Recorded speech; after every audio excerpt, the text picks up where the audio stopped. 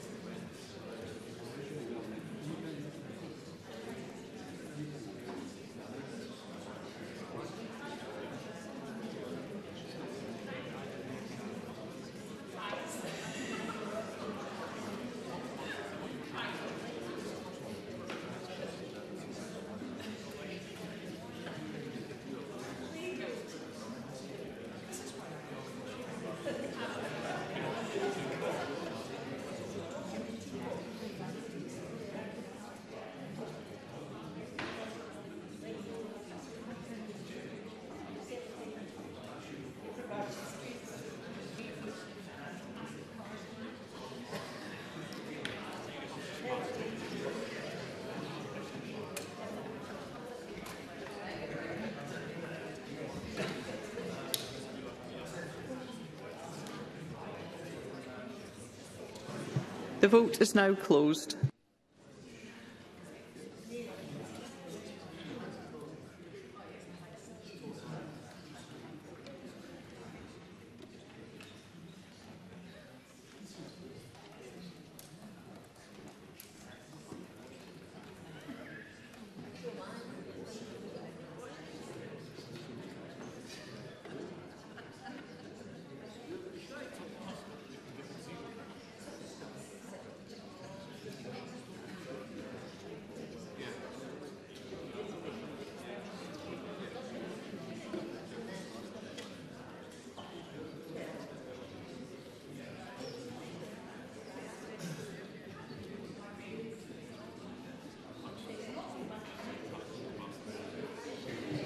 The result of the vote on amendment number 3712.2 in the name of Jenny Gilruth is yes 62, no 50. There were no abstentions. The amendment is therefore agreed.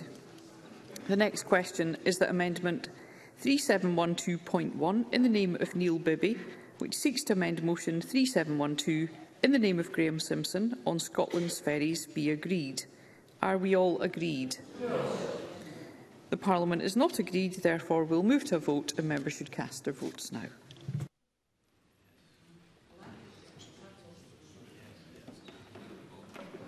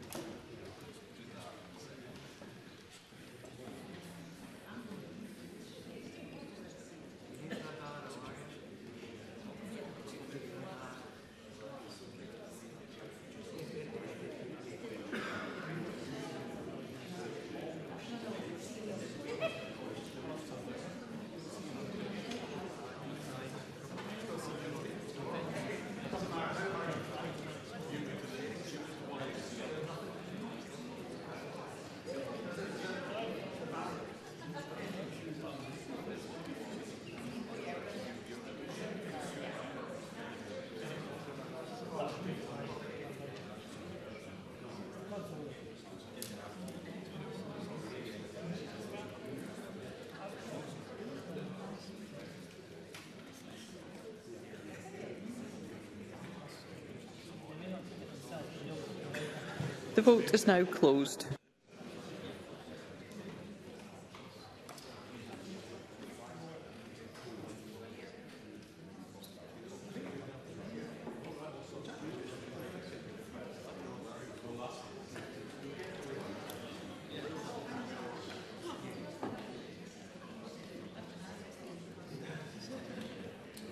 the result of the vote on amendment number 3712.1 in the name of Neil Bibby is yes 50, no 62.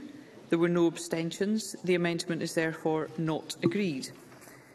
The next question is that motion 3712 in the name of Graham Simpson as amended on Scotland's ferries be agreed. Are we all agreed? The Parliament is not agreed, therefore we'll move to a vote. Members should cast their votes now.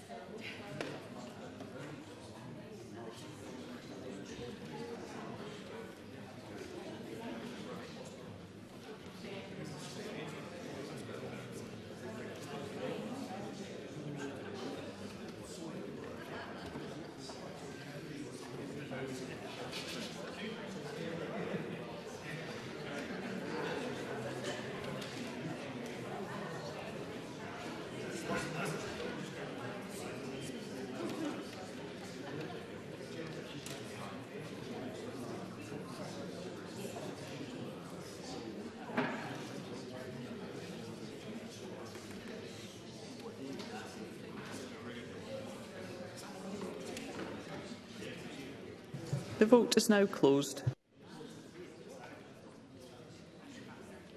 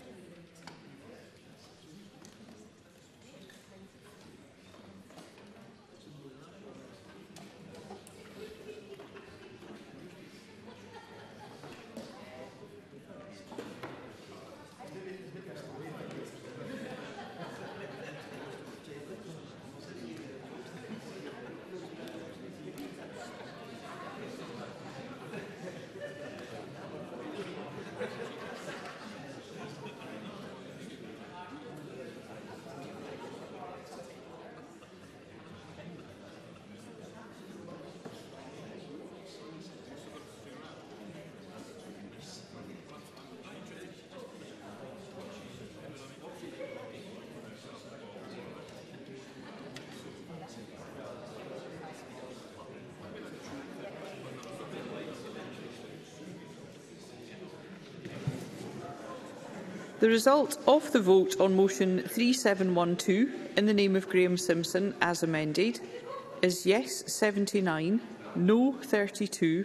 There were no abstentions. The motion as amended is therefore agreed. The next question is that motion 3750 in the name of George Adam on approval of an SSI be agreed.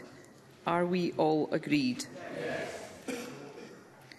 The Parliament is not agreed, therefore we will move to a vote and members should cast their votes now.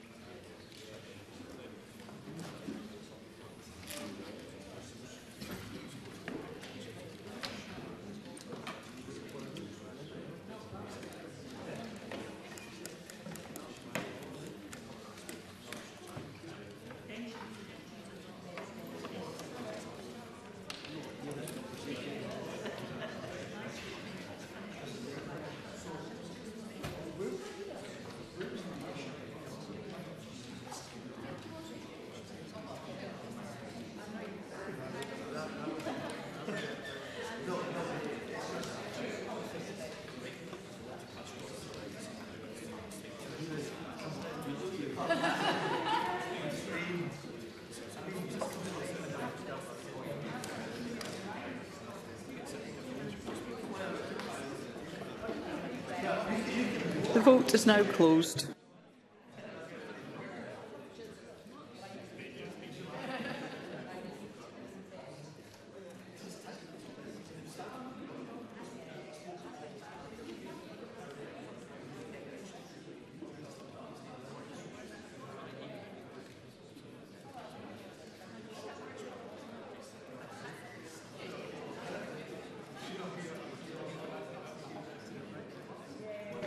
The result of the vote on motion 3750 in the name of George Adam is yes 108, no 0. There were four abstentions. The motion is therefore agreed. And I propose to ask a single question on three Bureau motions. Does any member object? No member objects. Therefore, the final question is that motions 34, 3747 to 3749 in the name of George Adam on approval of an SSI be agreed. Are we all agreed? The motion is therefore agreed and that concludes decision time.